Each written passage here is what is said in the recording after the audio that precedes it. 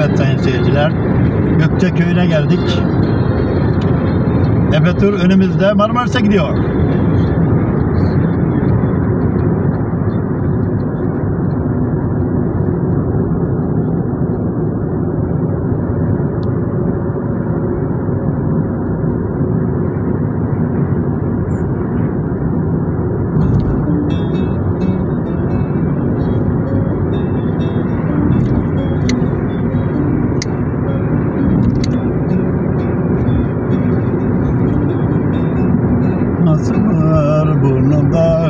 Hızması var.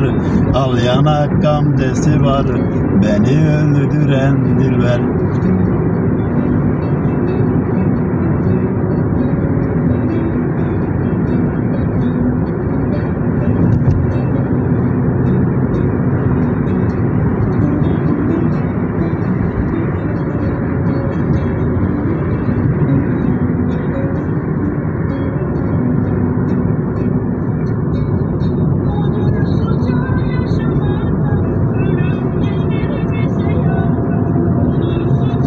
Köyü'nü bitirdik.